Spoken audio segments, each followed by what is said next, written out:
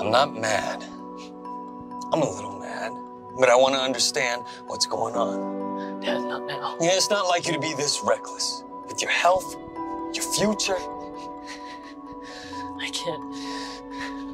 Kel, are you having an asthma attack? Where's your inhaler? I don't, it's. It's not the asthma. What is it? Tell me what you're feeling. My heart's beating fast. Feel dizzy? The walls are closing in? I think you're having a panic attack. Take a deep breath.